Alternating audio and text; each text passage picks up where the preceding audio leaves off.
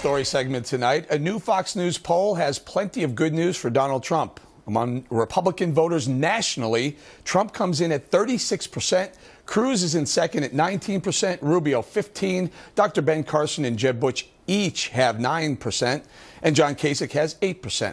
Now, with Trump maintaining a commanding lead in the Republican South Carolina primary just two days away, some think the writing is on the wall about who will drop out next.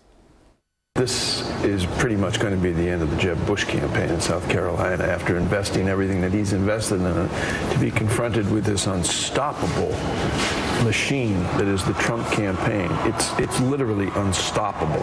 Joining us now to analyze from Los Angeles, Charmaine Yoest, senior advisor to the Huckabee 2008 presidential campaign, and with us in studio, former McCain advisor, uh, campaign advisor Boris Epstein. Epstein. Epstein? Epstein. That's Great to be like with Einstein. you. Like Einstein. Um, okay, Boris, the, the numbers that were just released a couple hours ago 36% Donald Trump, Cruz 19, Rubio 15. They, that's the national Right. poll, but it's very similar to the South Carolina. The South. Carolina poll tracks that almost to a T. Trump's in the 30s. He's up by 17%, right about there, plus or minus. He's doing great there in South Carolina. He's doing great in Nevada. The polling we have from the March 1st primaries, he's ahead in a lot of those states.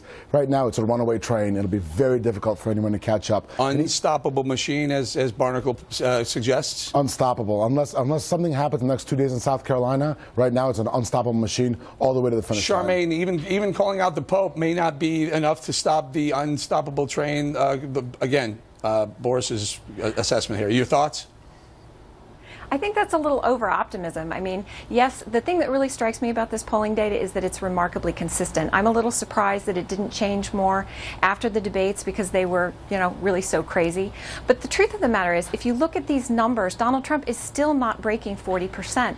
Yeah, I mean, there's oh, a ah, good spread between too. him and the next week, two points. Charmaine, all But- week. I've been I've been well, on here talking to people who say, you know, he only gets 35% or 38%.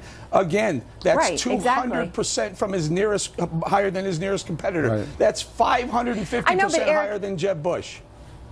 No, Eric, you know how this works, though. I mean, think about this. We had Iowa, we had New Hampshire, now we have South Carolina, which are one off contests. We've got coming up in front of us the big one, Super Tuesday, mm-hmm. March 1st. We will know so much more about this race at midnight after that race is called. When right now, Donald Trump has been going along as a political novice, being able to do one So state at a Who time. else, Charmaine? Who once? Who's have to derail do- Donald Trump Once you then? have to I- fight across I, I, I'm pretty sure in the last 40 years or so, there hasn't been a, a GOP nominee who, who didn't win um, New Hampshire or Iowa, and the only one left would be Ted Cruz. So are you calling for a Ted Cruz GOP nomi- nominee? Uh, You know what? I know, right? This is so interesting. The fact that you can look at these things and say, "Well, this has never happened before," and this is how it's always happened in the in the past.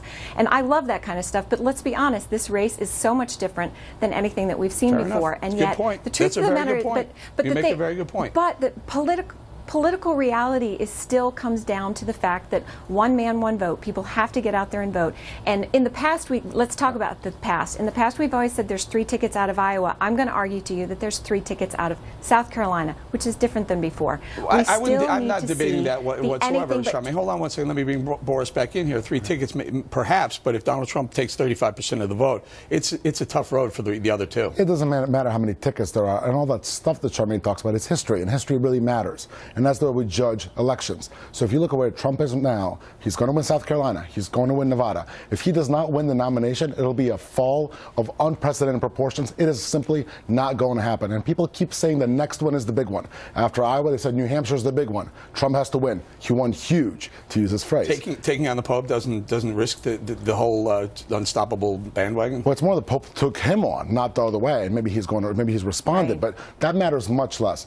You can, you see, and Charmaine mentioned this. He's done something in debates which no one has ever done. He's taken on other candidates. He's taken on the crowd, and it has not hurt him. It has helped him in the polls, and that's why he's such a strong nominee. Also, we care about electability in this party, and he's the only nominee we could have that's going to appeal to those blue-collar Democrats in Ohio, mm. in Pennsylvania, and Michigan. Well, and that's that- the key to the election. You know what? A lot of these polls, Charmaine, we, we, we poll Republicans or Democrats on the Democrat side. There are, the Trump campaign says there's going to be a lot of Democrats voting for him. I'm not sure that, that works for him with the with the GOP, but that may be the case, right? Well, I think the polling data, when you look at um, our candidates over against Hillary and Bernie, are it's still really early in a campaign to start looking at those kinds of things. And I think you see strength among across the board in the in the Republican slate.